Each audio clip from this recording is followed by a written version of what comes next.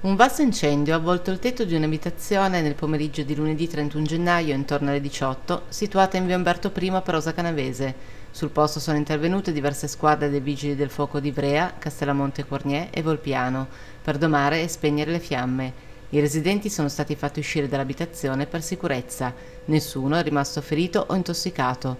Le operazioni sono state rese complicate dal vento forte. Secondo una prima ricostruzione, pare che le fiamme si siano sviluppate dalla canna fumaria per poi intaccare il tetto.